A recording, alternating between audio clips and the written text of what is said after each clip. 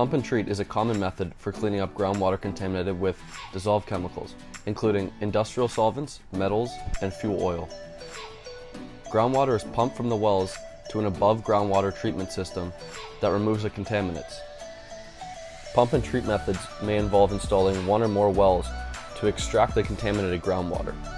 Groundwater is pumped from these extraction wells to the ground surface, either directly into the treatment system or into a holding tank until treatment can begin.